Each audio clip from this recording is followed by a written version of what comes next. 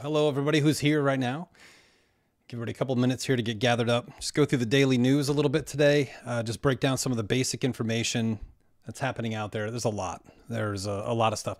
Nothing major today. So I'll give everybody a few minutes. Let me know when you're signed in here. Just pop up some uh, comments in the in the comment section, the chat section, and we'll go ahead and get started.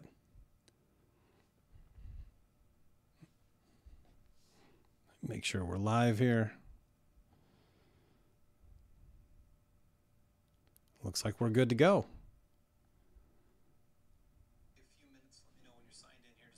Oh, that's me.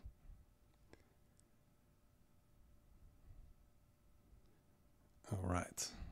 Get folks signed in here.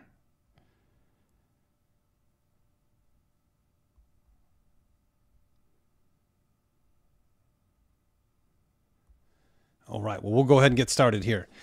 Thank you, everybody, for coming here tonight. Uh, good to see you all here here this evening.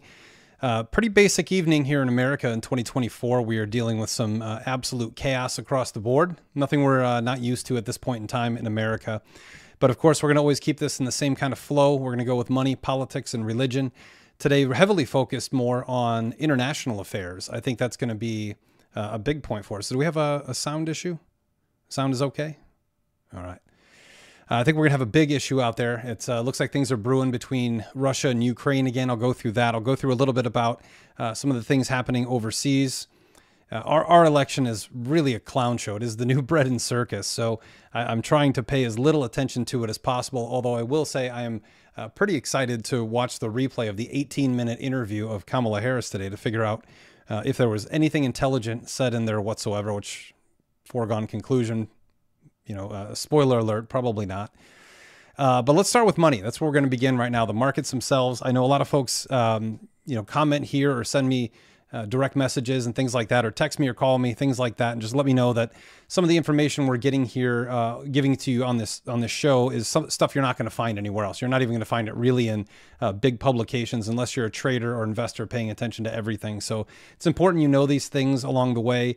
Uh, some of my resource uh, resources for uh, research out there that are, are pretty widely used. Very good job is a Kobeissi letter on Twitter. They do a fantastic job. Macro Edge. Uh, I'm not a master researcher. I am more of a, a, baker to kind of put these things together and see what they mean to you and see how you can benefit from all these things. Um, and and and get your life in order and make sure you're prepared for what's coming because I don't think we're looking at anything good in any area at all except for possibly political change. Uh, I'm not saying that to black pill anybody or anything like that. It's just just what I see. And if you've been following me long enough, you know that I don't really put my emotions in anything when I'm trying to prove a point or trying to get information across. It's just information. Things are just things. Events are events. Uh, I try to leave emotion out of it and make sure that we're getting the most out of data, which is really important. So first data. As we have this political campaign, this election, which you know some polls say Trump is losing, most polls say that he is dominating the the election, which I think is probably the more realistic, definitely the more realistic. But we'll see in the end. You know, we don't know. There are a lot of good election changes, like we talked about a couple of days ago. But I think it's important to note that for your friends and family who think this is just another election, it's important to note the policy that we do have from the Democrats, which is important to note because if they are going to vote for them, these are the things that are going to happen. And the new tax plan is designed to increase tax revenues in this country by $5 trillion. Currently, we that's double, right? So we, we currently collect $4.7 trillion in tax revenue. Uh, the new plan with unrealized gains and things like that coming out. So it's the most ridiculous plan in the world when bankruptcies are at an all-time high. That's personal and corporate. Both of them are now at all-time highs, or at bare minimum, depending on, on stats you look at, bare minimum 15-year highs. People can't afford bread. Uh, the housing market's in shambles. Nobody can buy anything. Nobody can sell anything at a profit anymore.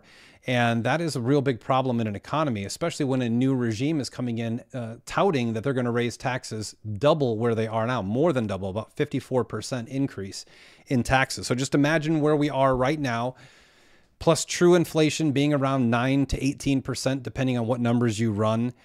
About four years from now, when you're paying twice as much in taxes and about 40% more for everything that you purchase, while wages are increasing at about 1.4%. That's the reality of of this this model, this plan coming out from the Harris campaign, which is ludicrous. What else is ludicrous is that our GDP went up from 1.4 to 3% this past quarter.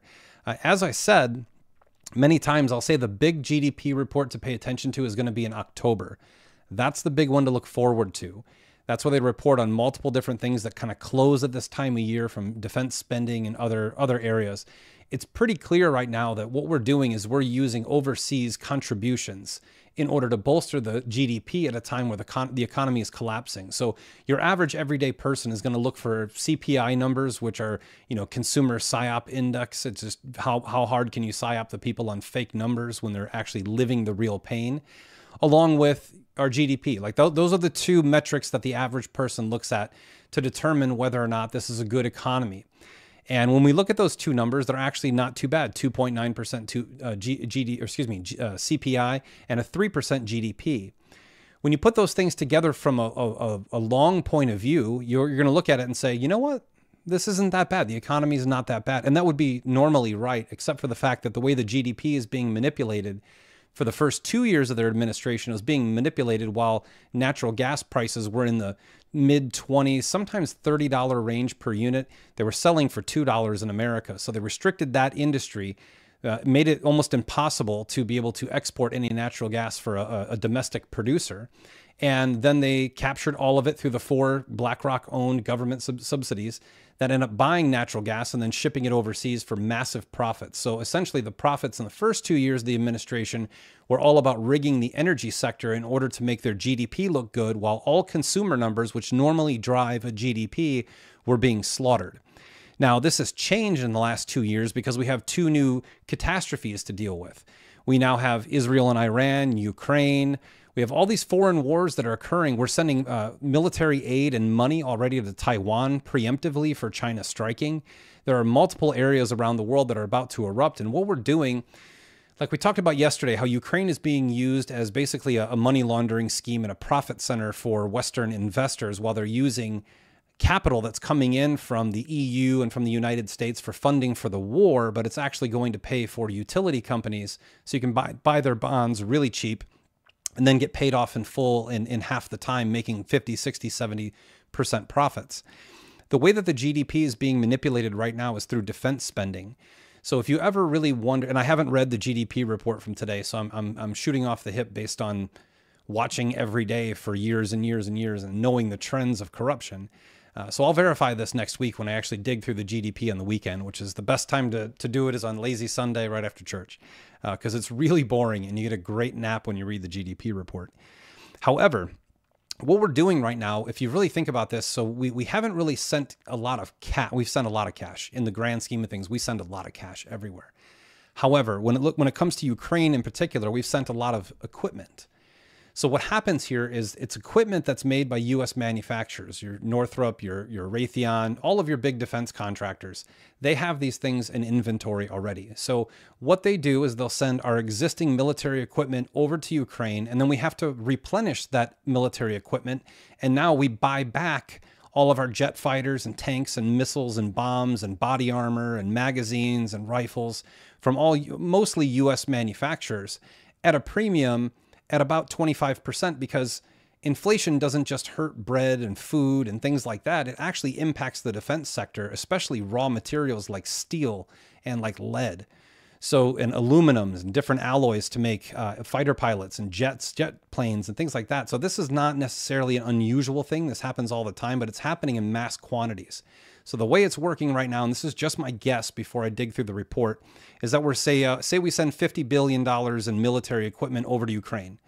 That military equipment is now out of the military, our military's hands. It's now in the Ukrainian military hands. And what we're doing is going back to the same defense contractors and paying for cash to replenish, replenish our stockpile and inventory with American tax dollars at a premium. So, say there was a, a, bulk of fighter pilots that were purchased four years ago sitting in the military on Terramax all over at our different bases they're going to get rid of those. And they paid just hypothetical uh, number say they paid 2 billion dollars per or 1 billion per fighter pilot fighter jet.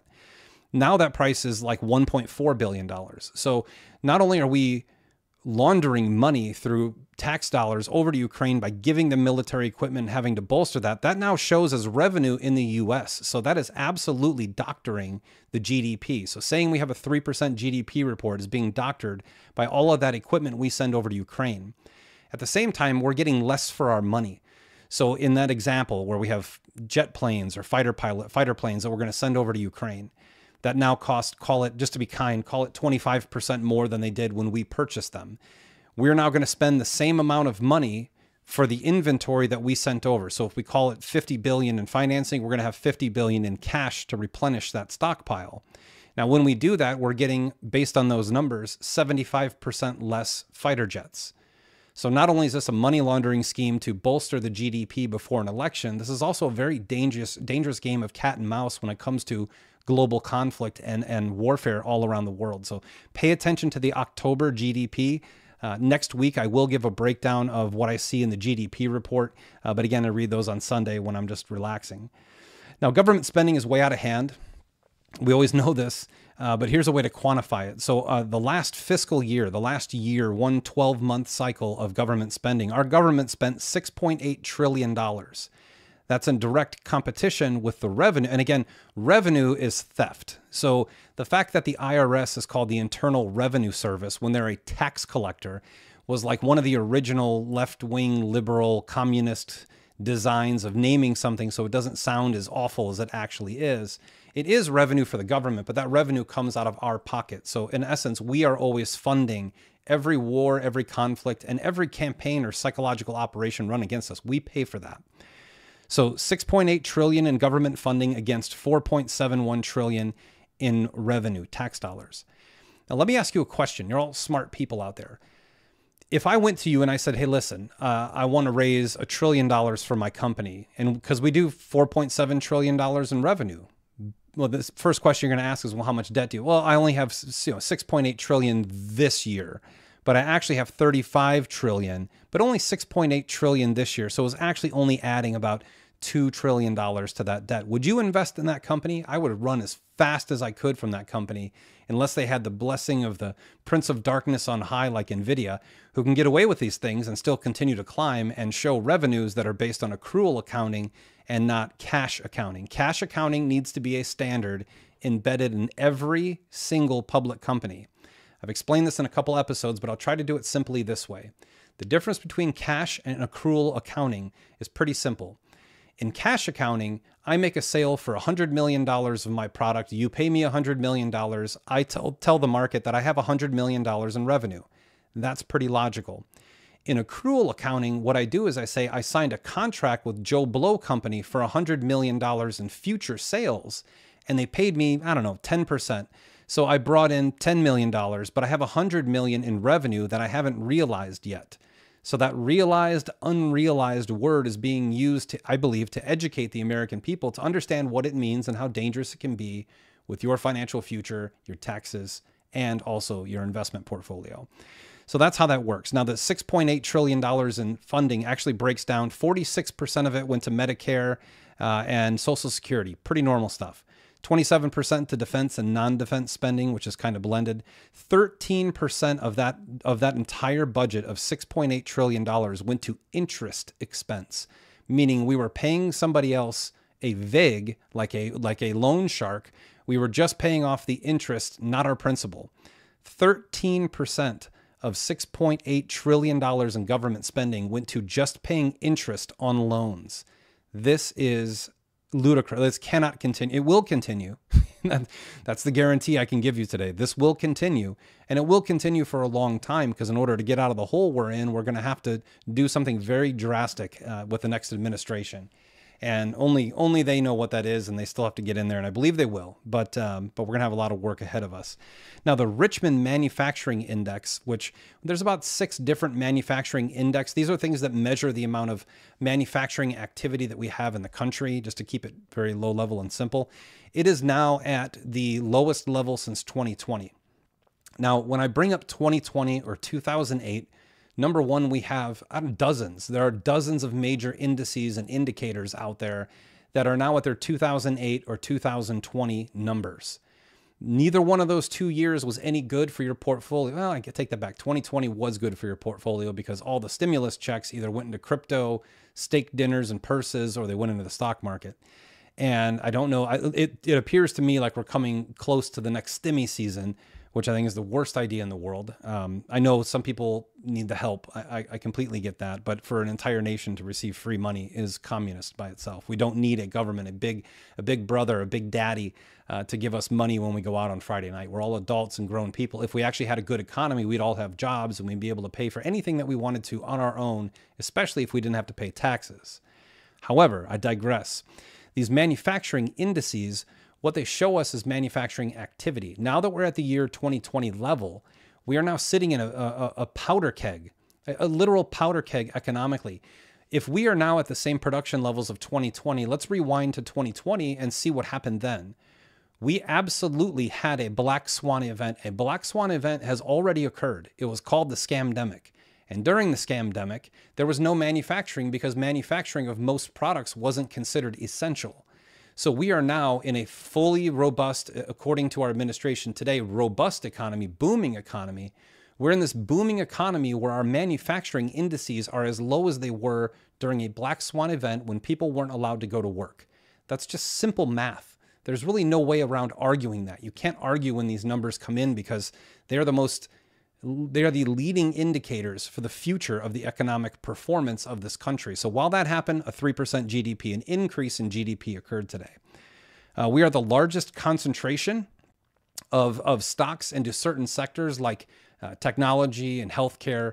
They're so overweighted, they remind every economist out there of the dot com era and how overweighted we were in the exact same sectors. Again, a 2000, a year 2000 indicator. So now we have 2000, 2008, and 2020 all three of those years were not good for uh, for economies.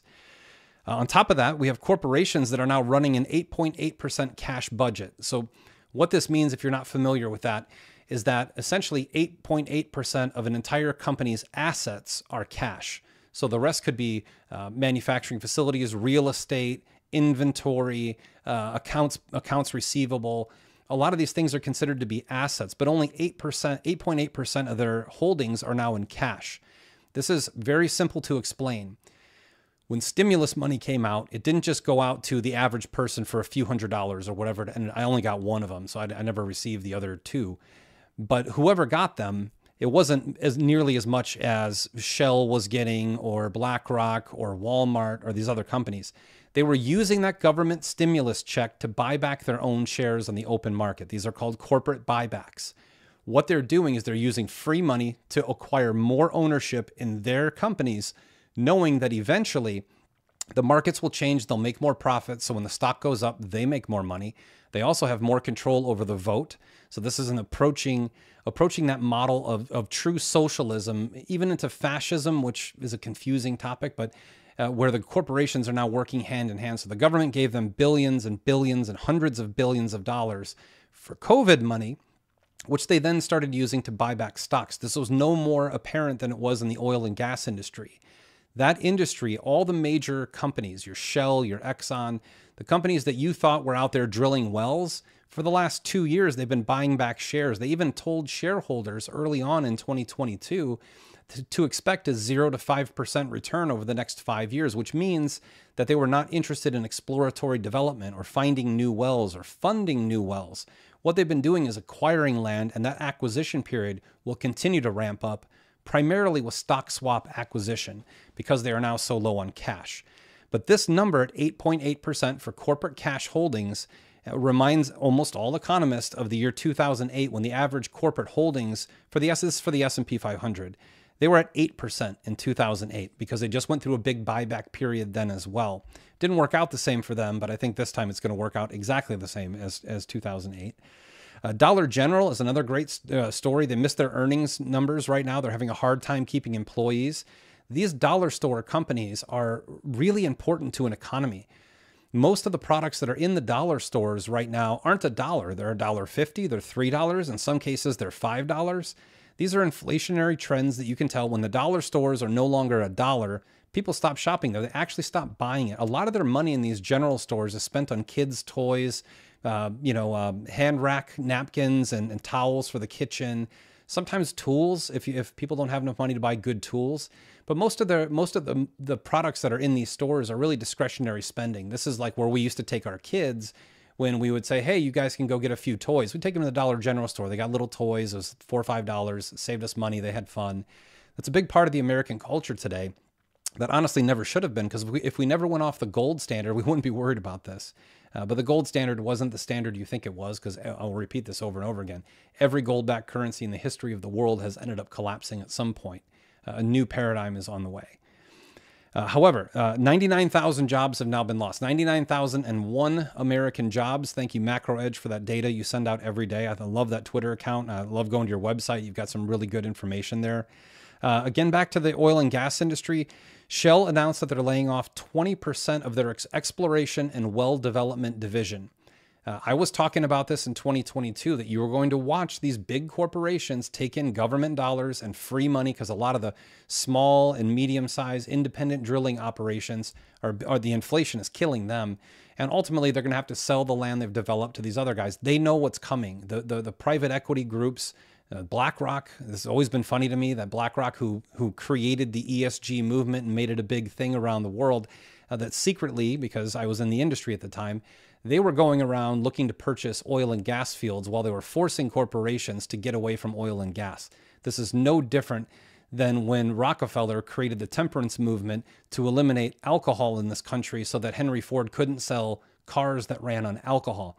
Great research dig if you're interested in that. That's a true story, happened in America. It's been happening in America for, forever.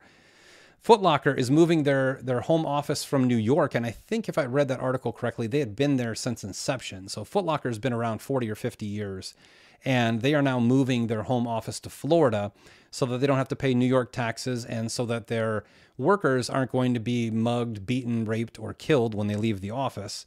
Uh, good for you, Foot Locker. Hopefully, all of you get a moving stipend to go get near the beach. Warren Buffett is still stacking cash.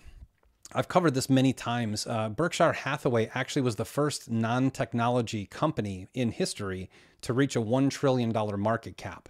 While that was ha- that happened a few days ago, while that was happening, Buffett cashed out another $986 million of Bank of America stock. This is his third withdrawal from Bank of America stock, equaling about, I, I, don't know this number, so don't quote me on this, but I think it's about eight or nine billion dollars. He has more cash on hand to deploy for cheap assets than anyone in the history of mankind in a public market. There are certainly there, listen, there are there are dozens, if not hundreds, of richer people than Warren Buffett. You just don't know their names. But as far as a public figure in the public market, he has one of the biggest cash stockpiles ever known to man, uh, which tells me a market collapse is coming up. Otherwise, a, a baron like himself wouldn't be stocking up on cash, he'd be buying other assets. Uh, along with that, uh, financially, I think one of the things we all need to look at right now is insurance rates. Uh, insurance companies, I'm going to go into this at the end here near near some of our state politics that are coming out right, now because they're really terrifying. These horrible, horrible laws are being passed in certain states. Certain states are doing a great job. Louisiana's kicking butt right now with what they're doing. But if you really look at the insurance model right now, insurance companies bend at the knee of politicians. The insurance companies have massive lobbyist groups. They lobby for all types of things new types of insurance, uh, new asset class, approval for mandated insurance. I've talked about this, and people argue with me about this, and that's fine. I'm, I'm well open to open dialogue.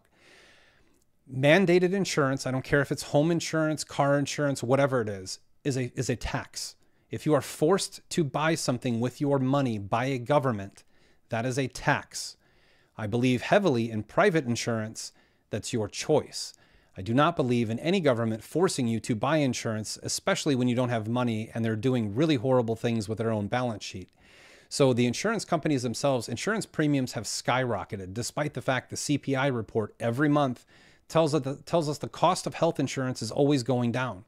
This last CPI said that health insurance premiums were drop or health insurance costs were dropping 33% in this country.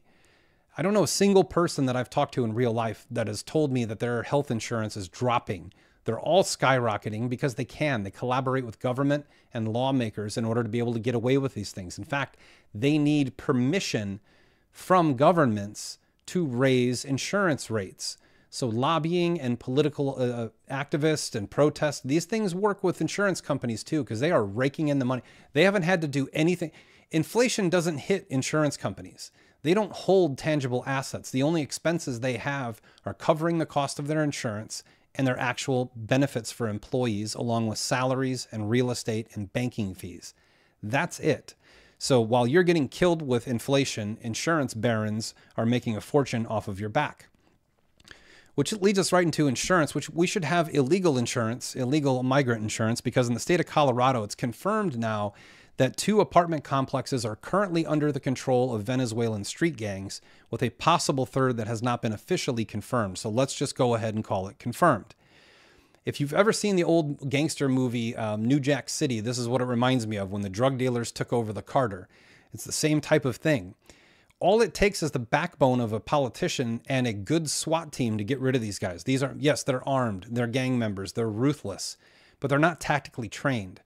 So it, it boggles my mind that the mayor of Aurora, Colorado, is doing multiple television interviews right now while his own citizens are being held at gunpoint and removed from their homes in which they pay taxes that pay his salary.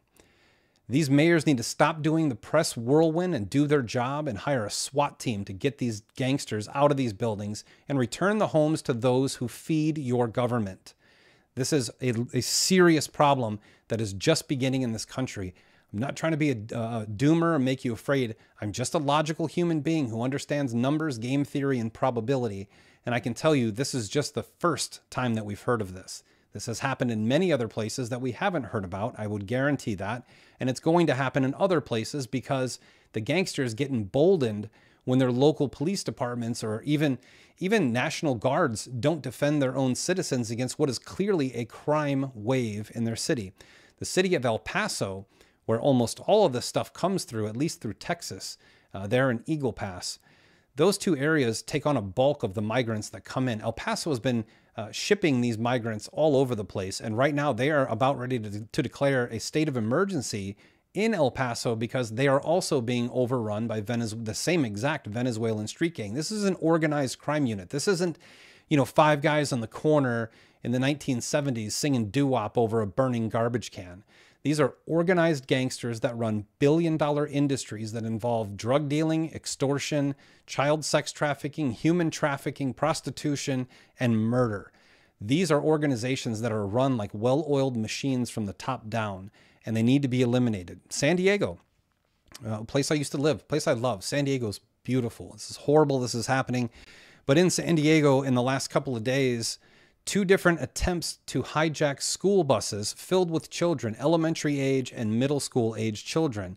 Illegals were pulling over the vans, armed illegals, trying to hijack buses full of children going to or coming home from school. This is a major problem. It correlates directly with Tom Homan's new uh, recent information stating that 300,000 children illegals are missing from the borders. The child trafficking problem in this country is absolutely mind boggling that no one talks about it. And when they do talk about it in this country, here's what happens. There's a new movie coming out called City of Dreams from Sylvester Stallone. Old Sly is making a movie about child trafficking. Right now, influencers all throughout every network, especially Facebook and, and Instagram, they are being banned from talking about this movie. They do not want you to know that there is a serious child sex trafficking problem in America, as well as a child pornography problem that is way out of hand. Sin has overwhelmed the American society. It is literally time for this nation to have some backbone, turn back to God, and set things right.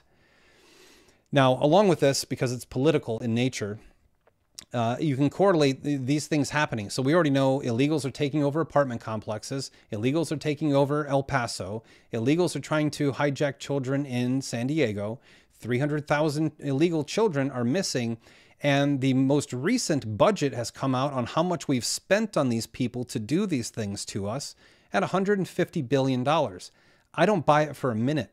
I've read two other reports that suggest 325 billion to 454 billion dollars they've spent of our money for people to come and take our homes, steal our children, and overrun our towns. This is not a game, nor is this fake. This stuff is really actually happening.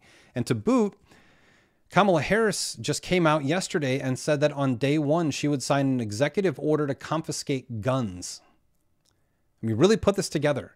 You have all this stuff happening in this country, and the person running for president is saying that she will take our guns on day one. Well, then how are we supposed to defend ourselves against armed guards?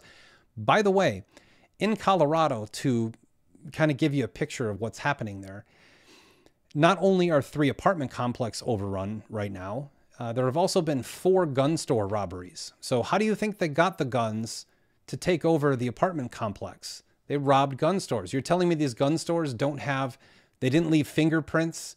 There's no video of these people. This is an inside job being constructed by local governments, which are getting more and more corrupt by the day. And if you're not active in your local government arena, you are doing yourself and your children a disservice at this point in America. Now, on to different topics. Uh, Pavel was just released by the uh, Pavel Durov, the founder of Telegram, was just released sort of from the French. So he's charged with six crimes, not 12. They've reduced that down, but he is being held under supervised release and he has been formally indicted in France for crimes.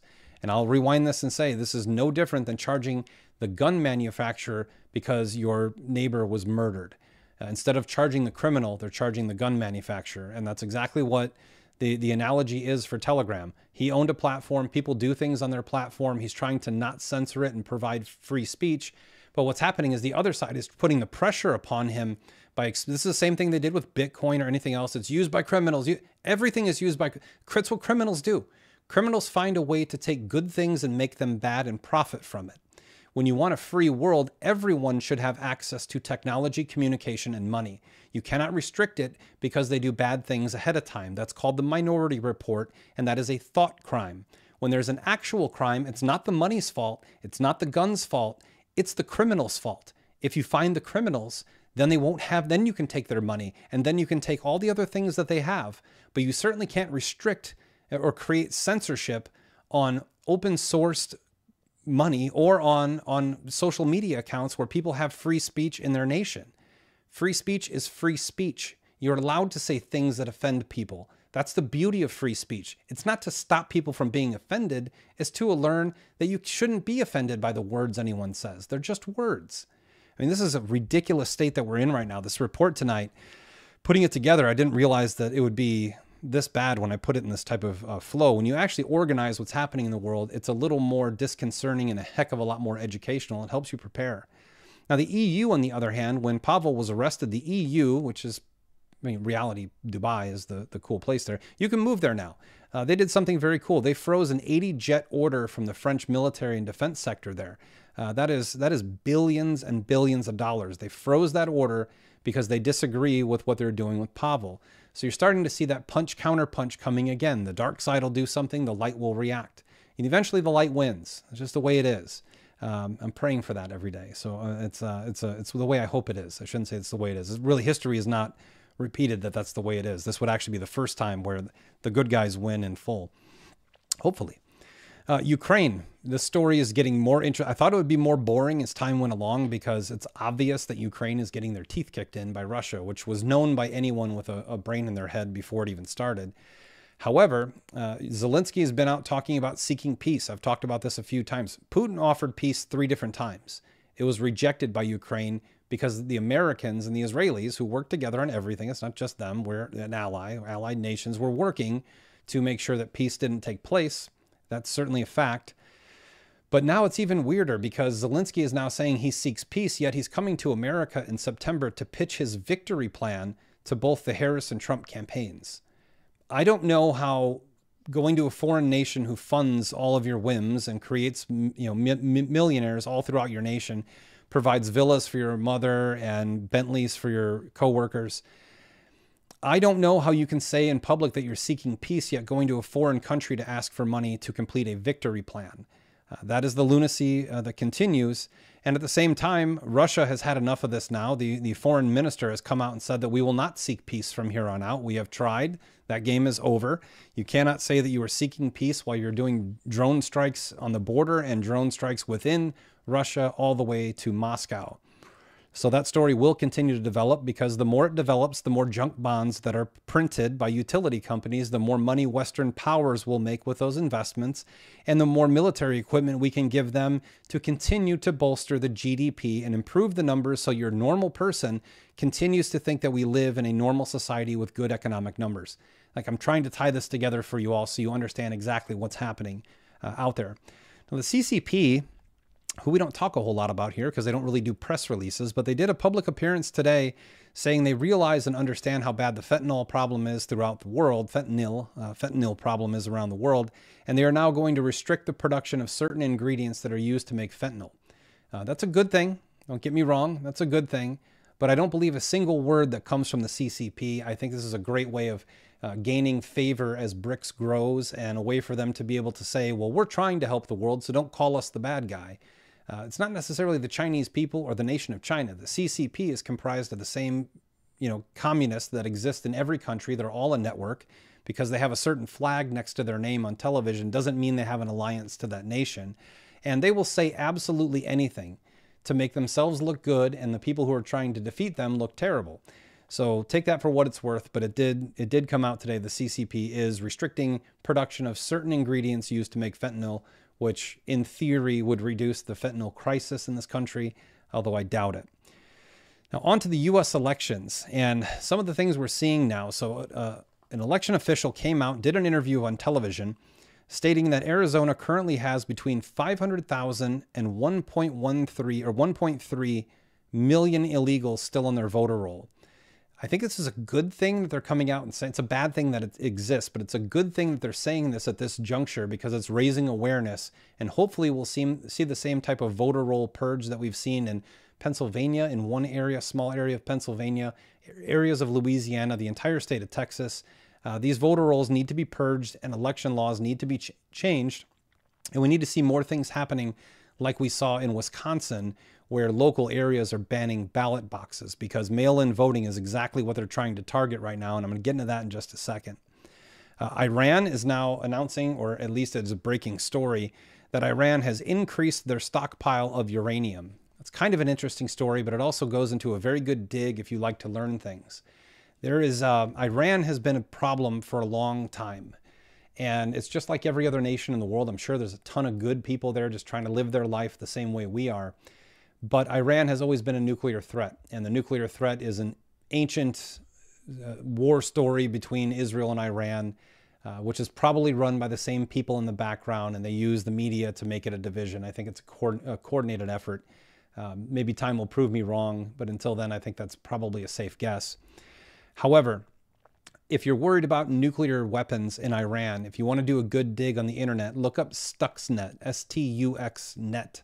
It's a computer program that was embedded into uh, almost every, actually not almost every mass manufactured piece of technical equipment in the 90s and, and 2000s, all the way through about 2011. It's a pretty irrelevant code that's on your computer. It's on every computer, your phone, everything.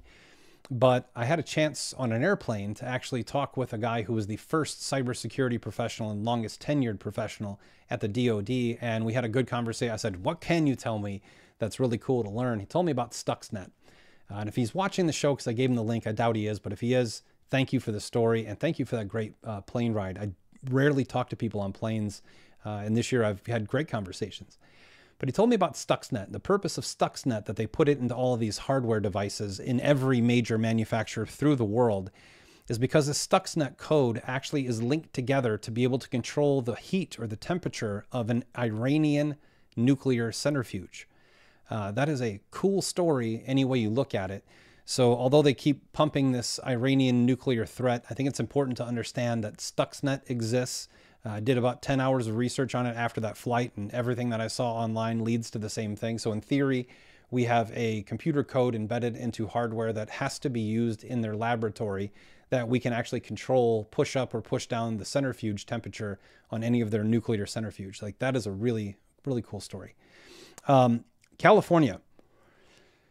Former Californian here, uh, not a lot, moved there from the Midwest. But California, guys, this isn't looking good. You know, aside from the fact that the Chinese have been buying your homes in cash since 2020, Uh, the fact that everyone is overextended and everything you pay for there is so ridiculously expensive. I always tell people this story. I moved from Cal. I love uh, Planters mixed nuts, deluxe mixed nuts, the big cans, my favorite snack. And I used to buy them in California one at a time because they were 14 to $16 no matter where I went. When I moved to Texas, I went to the store, they were $7.99, and I asked the, the guy at the grocery store if that was a mistake. And he said, No, are, are they on sale? He goes, No, that's the normal price. I bought the whole shelf immediately. So things are cheaper everywhere else. I'm just going to let you know that. But they just did, they passed SB 1414 a couple of weeks ago. I saw a great video that reminded me of this today. That basically means if you buy or sell a child for sex, you know, just, but, you know, common thing people do, I guess. They buy and sell children for sex. If you do that in California, your maximum sentence is going to be one year and two days plus a $10,000 fine. Most of those instances will be two day sentences because of the way the law is written. But the penalty for buying or selling a child illegally for sexual purposes is two days, one year, $10,000 max penalty. In my opinion, and I'll put this on air, uh, it's very cheap uh, to solve this problem. Shovels and, and, and rounds are fairly inexpensive if you harm children, especially if you sell them. I think that's maybe the most wicked thing in the world, and it's it's so common right now that they're passing bills to reduce the sentences for it happening. They also banned voter ID in local election centers. So the only thing in the world that they argue for in any political stance right now is that we don't need voter ID because that's racist. Now, if you ask white liberals, they will they will chime right along. They will sound like the mockingbird that they are, and they will say people of color in disenfranchised in areas don't have access to DMVs because they're taught that in college with our tax money. They're taught that in high school with our tax money, and our media, which also gets our tax money, tells them this every day. The reality is, I don't know a single, I don't have a single friend out there of color, whether they're black, Mexican, Chinese, Indian. I have a lot of friends of all. I don't know one of them that doesn't have an ID. And now in California, they're not only saying you don't need ID for local elections, they're banning the use of IDs in local elections. Your local politics are far more important than you realize, and they're also the hardest politics to get any information on. So get involved in your local areas, especially in California. The other tragedy that's happening out there is that Allstate Insurance just, and this is key when you read the article. So look, look, verify everything I'm telling you. Don't take what I'm telling you verbatim. I'm not here to be the, the information source. I'm, I'm trying to stimulate your mind to look further into things for yourself because you will learn things I don't have time to teach today. And more importantly, I hope you share it with me so I learn something too. Now, Allstate, major insurance company, they just got, this is a key word, they just got approval. They got approval to raise homeowner insurance rates throughout the state of California on an average of 34%. That's not the end of the story. That's the average, depending on where you live and how risky it is for the for the insurance company. They can raise those rates as high as by law 650%. So hypothetical number, say you're paying $1,000 a month for home insurance, it might be 6,500. It's certainly going to be 1,300. That's definitely happening if you have Allstate. So get if you're in California, get out of Allstate from your home and homeowners insurance and get away from them as fast as possible. This is how you protest these things. And I will remind you that in the article and in the press release from Allstate, they received approval. There are insurance boards that exist that give approval for rates. Here's another interesting fact. In the pharmaceutical industry, you ever wonder why we have so many pharmaceutical com uh, commercials on television today? First of all, they control every lobby, number one. That should, should be known. This country, the lobbyist nation, is run by those who are behind Big Pharma. But just like insurance, Big Pharma has pricing boards. So to run any human trial, it doesn't matter what human trial you're running for whatever disease, you know, you, you're never really going to spend more than maybe eight to $10 million. It's just, you don't need to to prove a point scientifically. I have experience in this. So let's call it 5 million on average. You spend 5 million on a, a human trial. You have production cost for the pills, which are like a, a penny a piece, but you're going to get $10 for them. And then you then you have to find a way to increase your price that you get from the insurance company before you go to the insurance board. So before you go to the insurance board to get insurance pricing opinion from this pricing board, What you do is you put together a $500 million marketing budget. That actually, by law, is allowed to be included in the pricing board's assessment of how much a drug will cost. Now, I know we all have copays and you get a drug from the doctor and you pay $15 or $20 or whatever it is and you get your drugs. Those insurance companies make their money off your sit your sitting premiums. They make your money off the money you don't use and they pay the big pharma companies big, big bucks. So if you're paying a $15 copay, look at your actual receipt for your drugs. They're going to be $1,200, $1,500. That money is being paid to the pharmacy or to the, to the pharmaceutical company through the insurance company. This is why they continue to jack up these prices. So this example, insurance is no different. They bundle up insurance. They say, well, this is our new risk. This is how it's riskier now than it was last year. Here are our reasons to raise rates because it's going to cost us money. It's going to eat into our profit center. And pharma is no different. So you have 5 million for a human trial, maybe a few million dollars for the initial run of production. You bank it out 10, 15 years and say if this drug is successful, it's going to be another 5 million, 10 million to produce it. But we have to spend 500 million dollars paying off doctors and running, you know, commercials on CNN and Fox 71% of the time during the news. So that is going to cost us a lot of money. So instead of charging, you know, 10 cents per pill, we need like $13 per pill. This is how it all works. This is how the world really, really works. And insurance is no different. So your political influence that you have, your your voice in this country can be used for more things than just trying to get a, a state senator to to get rid of, you know, critical race theory. You could be using it to lower your own drug costs. America doesn't know that. They don't know how these things work. But I promise you over the course of the next 2 years, we're all going to learn, we're all going to share, and we're going to figure out how to get through this because this price of an average of 34% increase in homeowners insurance is a death sentence to anyone who's living on a razor thin budget, and that is intended. You will own nothing and be happy, is what Klaus Schwab and the World Economic Forum, who runs the world partially with many other groups, this is what they've been telling you for two and a half years. They're not going to come in and steal your house. They're going to use all their levers of power through financial influence to steal every penny you have. So you have to sell what you have to get by for another couple years. They sweep it up, it becomes a rental. California, you are on your pathway to certain renterdom. If you think you own a home, I don't even care how much money you have. If you live in the Hollywood Hills or if you live in uh, Malibu, you might be you might get out of this for a few years, but eventually it's going to be overrun unless you people stand up. It's very important.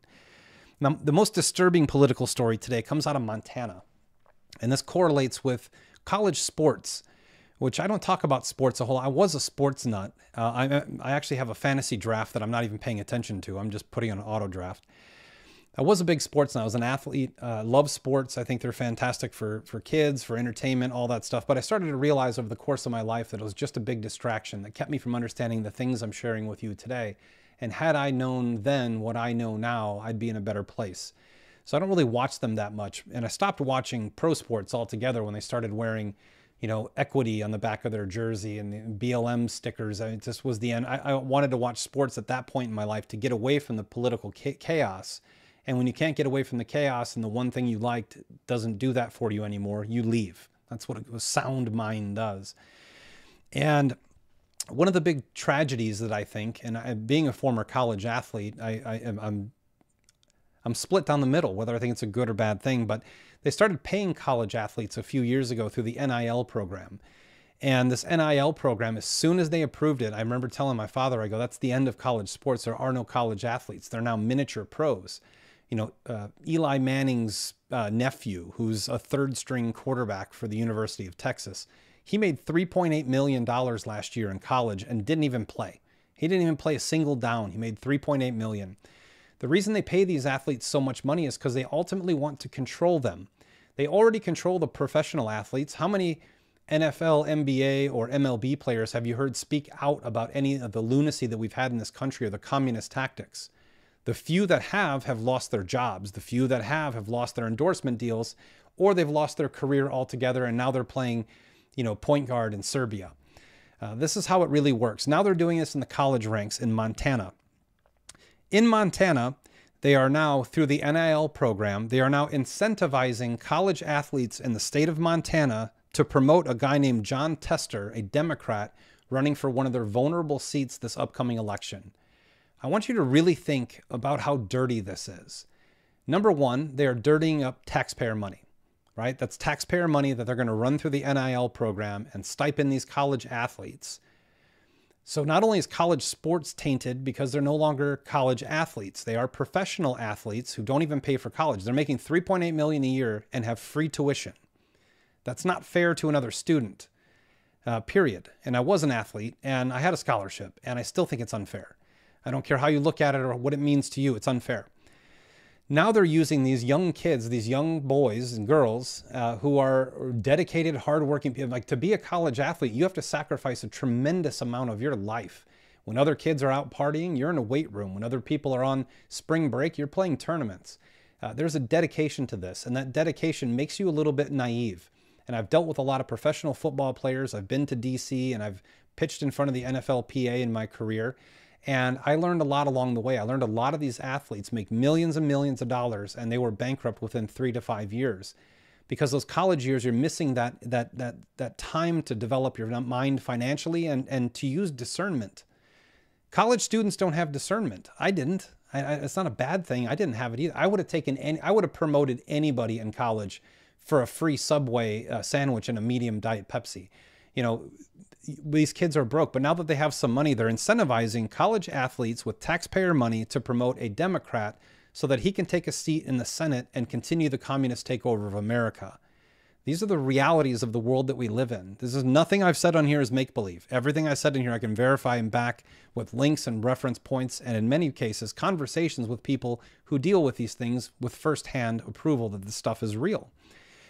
To boot, we also have the CDC, who was FOIA, uh, Freedom of Information Act. I don't know if many Americans even know what FOIA is, but you have the, the ability in this country to file FOIA forms and request very confidential information. This is how the world found out that Anthony Fauci was making millions of dollars because it was in emails. You can file FOIA requests to get information about things that happen within the government that they're not telling us about.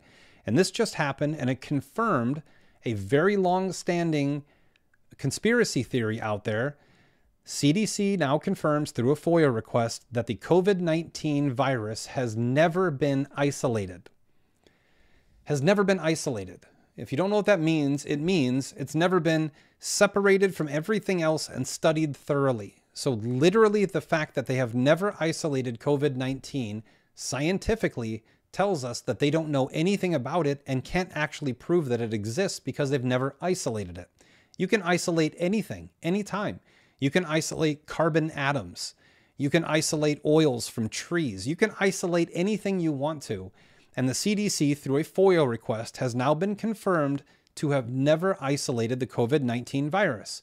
On the same day that this information comes out, The Hill, which could easily be called the shill.com, The Hill came out with a big article about how COVID is back on the rise through this summer and we may be looking at lockdowns. So, gee, guys, let's do a quick rundown of where we are during election season. Three and a half months, five months ago, actually, five months ago, Russian submarines and warships arrived in Cuba. I have not heard a story confirming or denying that they have left. We have 21 million migrants in this country. We have states that have self admittedly have up to 1.3 million of them on their voter rolls. We have illegal immigrants taking over apartment complexes, trying to hijack school buses filled with children. The city of El Paso is overrun. And in the middle of this, we have uh, multiple towns in two different counties in Massachusetts that are self quarantining for another airborne disease from a mosquito called triple E. We have another one I can't pronounce that came out yesterday. And we have West Nile virus along with monkeypox. Do you think it's election season yet?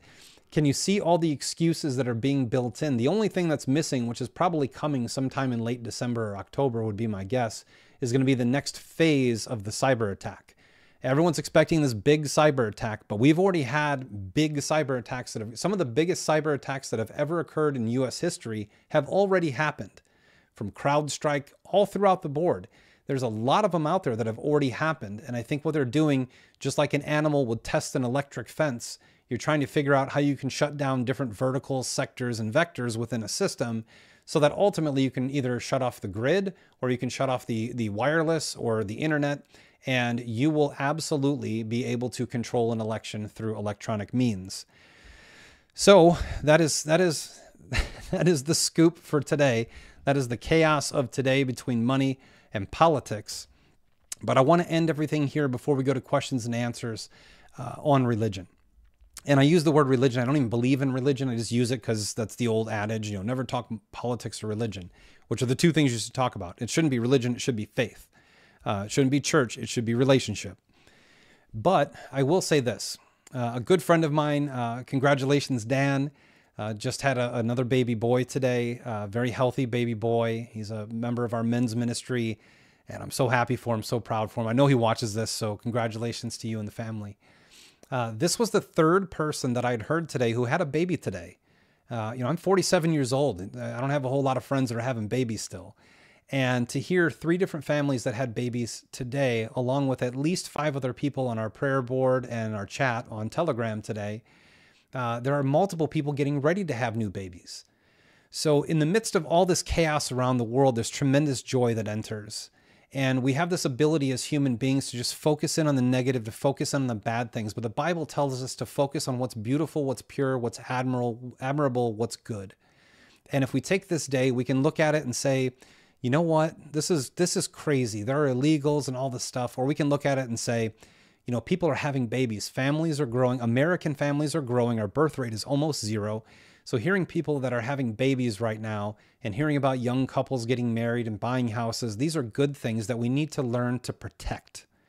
We protect this thing through a, a backbone as a society, having the, the, the stones to be able to stand up to what is wrong, what is misinformation and malinformation, and to be able to put our foot down when people from other countries are stealing our land.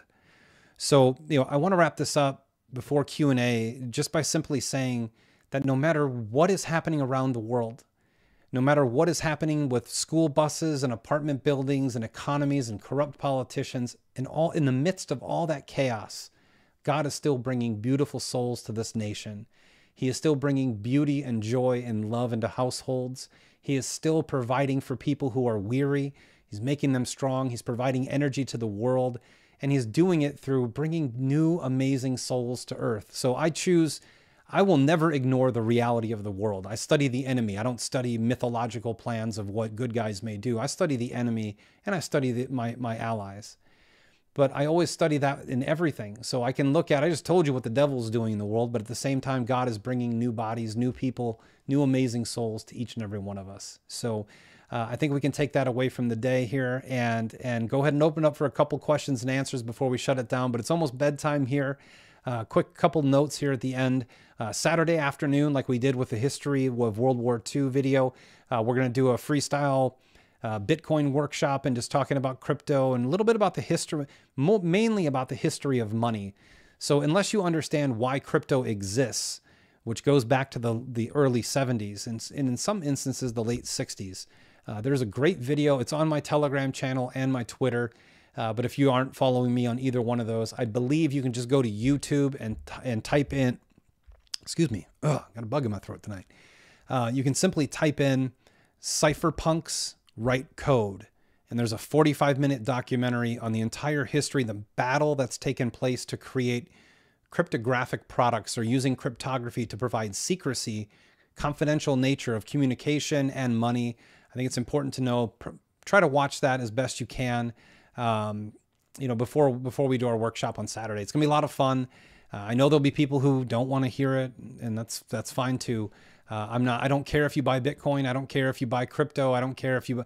That's up to you. you this is a world of free choice, a world of, of free decisions. All I'm trying to do with my free time uh, in my life is to be able to provide some education to people out there so they make more informed decisions. That's the best I can do. I certainly won't be. Uh, I am a Bitcoiner. I, I, I believe wholeheartedly in it at this point in time. I've spent enough time there don't care if you do or not, but I certainly think you should listen to some education and understand what it is and what it's not and determine it for yourself and then make your own decision. I think it's the best way to do anything. So, uh, that said, yes, uh, uh, Jeff, congratulations, my friend. A lot of you guys, thank you for putting the congratulations to my friend Dan up there. He is actually going to be on the show eventually. He's got a baby now, so it'll be months, but uh, we had talked for a long time to have him come on and, and, and do the show with me uh, as a co-host. And I have a few friends that I'm probably going to do that with in the end when I get, you know, the studio reset up for that type of stuff. So uh, until then, let's just look through. If you guys have any other topics you want to discuss or anything I can help you with here tonight, I'll be more than happy to. Uh, if not, I'll be definitely more than happy to go back to my family. Uh, and I think that we will uh, we'll definitely see you on Saturday. I'll probably do a show tomorrow in the afternoon. Uh, we have some stuff to do for the family tomorrow night, and uh, I'd love to have a movie night with my kids uh, if they're willing to do that with their old man. So hopefully we can we can get that done. So it doesn't look like we have any questions or concerns tonight. Thank you everybody, uh, everybody for congratulating Jeff and and, and Dan, and it's so nice to have you here tonight. So until next time, I'm Eric Rice. This is the Rice Report Live. God bless you, God bless your families, and God bless this country. We'll see you again tomorrow.